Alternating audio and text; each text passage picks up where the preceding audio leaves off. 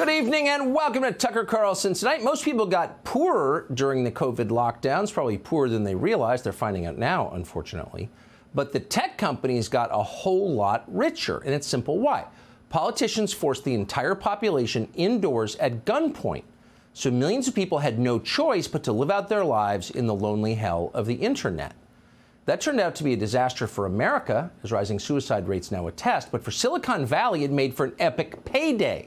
And that epic payday was soon reflected epically on the balance sheets of its biggest local lenders, which was called Silicon Valley Bank. In 2018, SVB had about $49 billion on deposit. Three years later, that same bank had amassed more than 189 billion.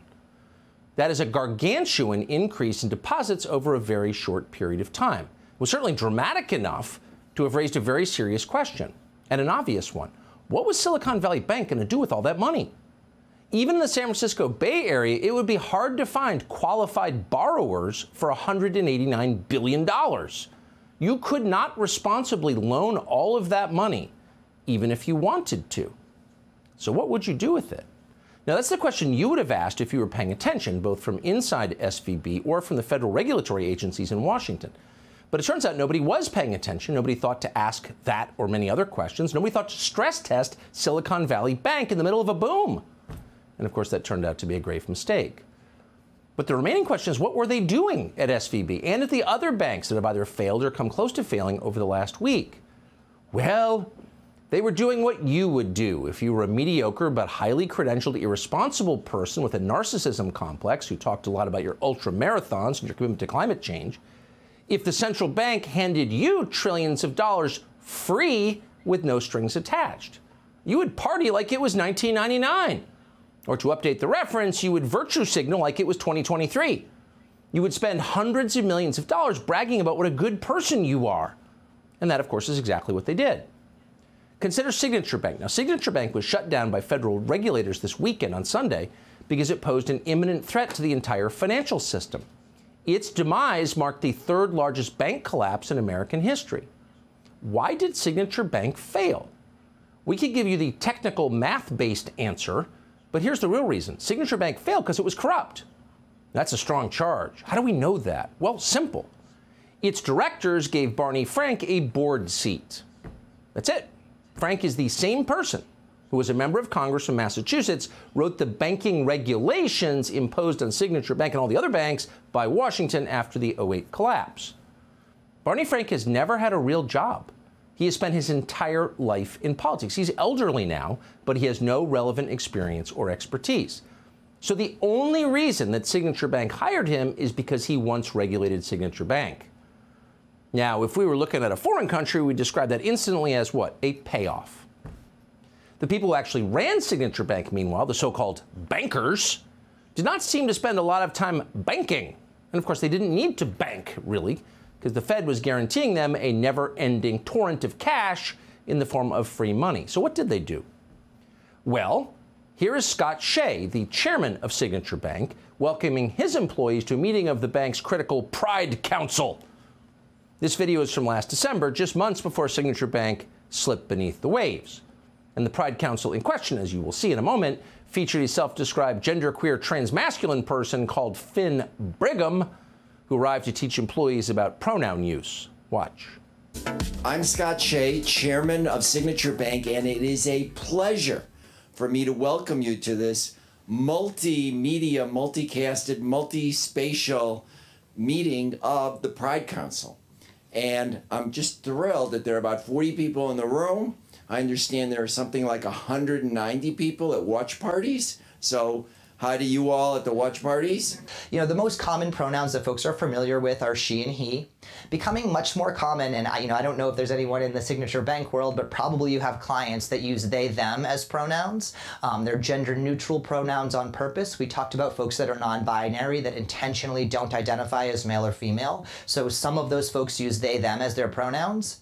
Z is another gender neutral pronoun, um, and the other part of that would be here, spelled H I R.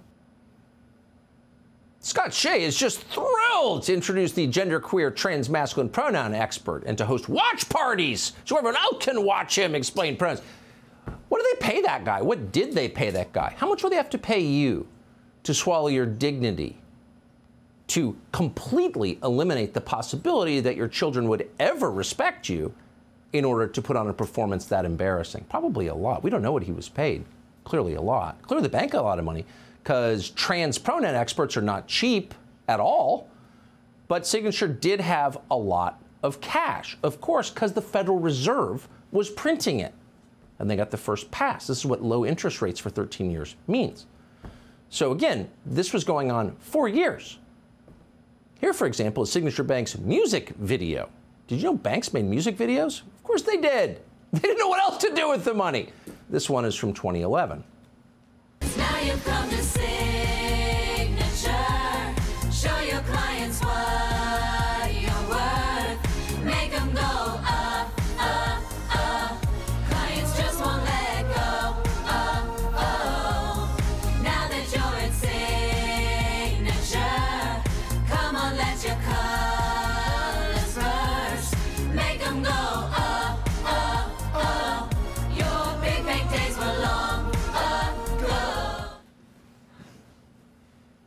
Sorry, it was a dance party at Signature Bank.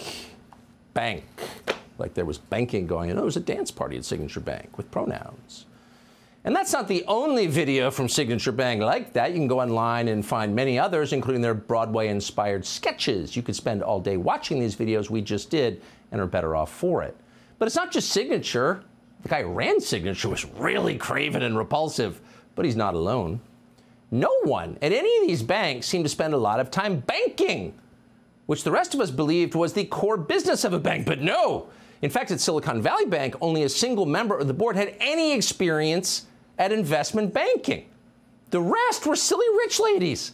The Daily Mail reports that every other member of the board was an Obama or Clinton mega donor. One silly rich lady was such a sensitive soul, of course she was, that she had to go to a Shinto shrine to pray when Donald Trump won in 2016. We looked up her picture. She doesn't seem like a native born Shinto, but whatever. There was a lot of fashionable rich girl politics underway at Silicon Valley Bank, but banking, not so much. SVB had no head of risk management for nine months in the year before it collapsed. Ooh, guess someone should have been paying attention, but no. They're visiting Shinto shrines and having dance parties with the pronouns.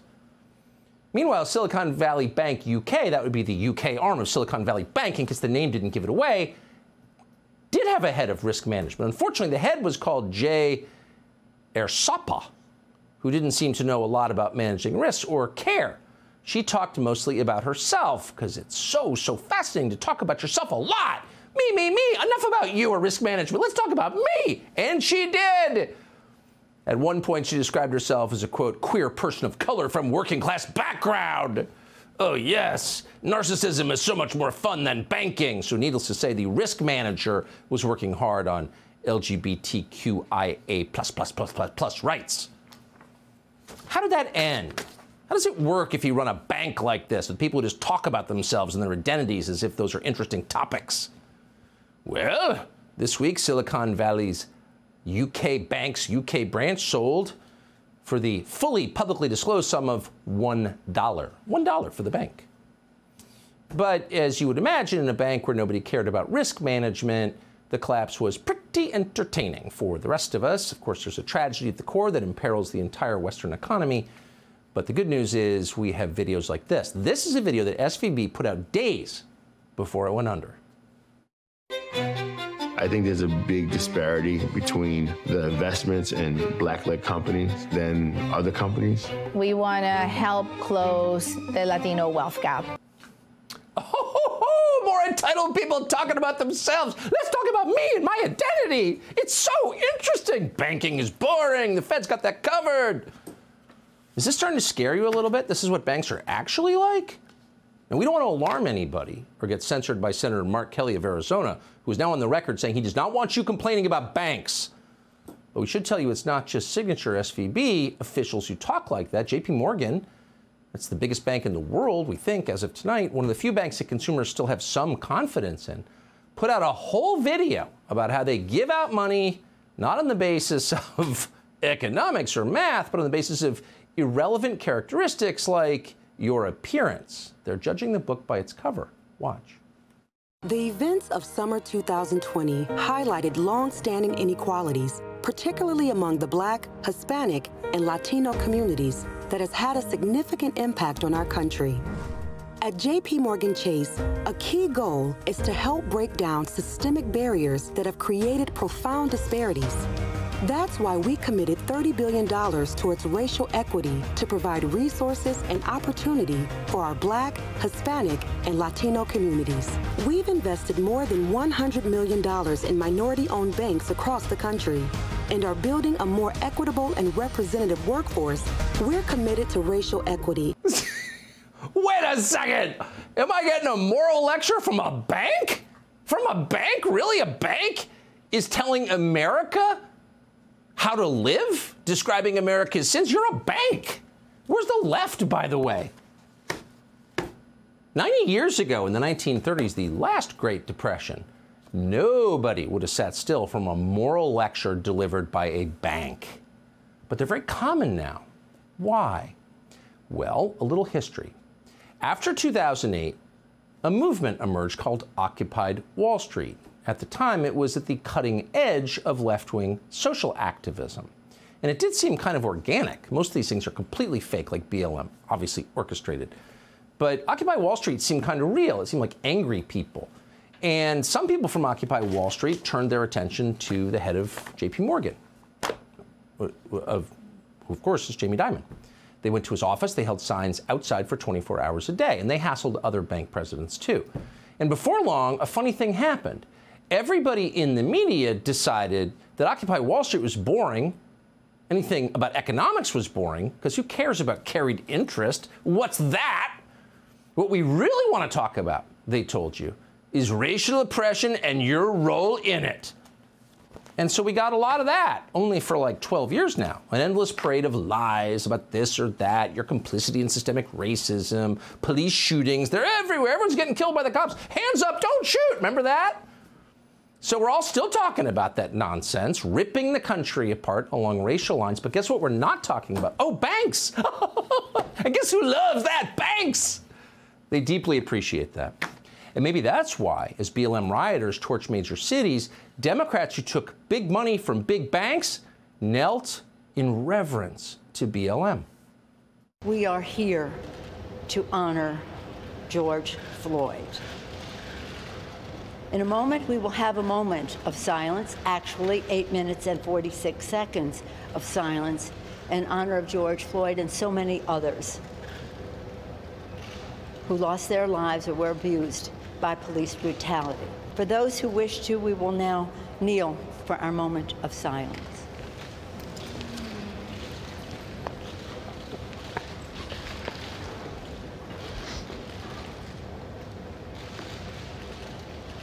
Oh, so great. What does everybody in that frame have in common? Well, they'll have kente cloth robes on. A lot of them are wearing masks. No, but they're all bank shills. That's what it is. They're all bank shills. They're shills for finance. Of course, every single one of them, and particularly the utterly soulless Nancy Pelosi. She'll say anything on behalf of the banks. And the banks love this, of course. They want to make sure it continued. And that's why, according to amazing new analysis from the Claremont Institute, Silicon Valley Bank, brace yourself, spent more than $73 million on donations to BLM and related organizations. Wow! And this is not personal funds. Apparently, these are bank funds. Might be kind of nice to have that money now, but it's hard to argue, even in retrospect, now that SVB has failed, that that was a bad investment. Because even now, as banks are collapsing, no one in media is anxious to criticize banks, almost no matter what they do. It doesn't matter what they do. Even if they were to, just pulling this out of thin air, openly profiteer from a war in Eastern Europe that's killing hundreds of thousands of people. Oh, it turns out they are. And we know that because Zelensky, the president of Ukraine, and a very close friend of banks and BlackRock, is bragging about it. Watch. It is obvious that American business can become the locomotive that will once again push forward global economic growth. We have already managed to attract attention and have cooperation with such giants of the international financial and investment world as BlackRock, JP Morgan, and Goldman Sachs. So we're getting moral lectures from the banks And we're getting a lecture on capitalism from some Ukrainian oligarch in a sweatshirt. Okay, now. Subscribe to the Fox News YouTube channel to catch our nightly opens, stories that are changing the world and changing your life. From Tucker Carlson tonight.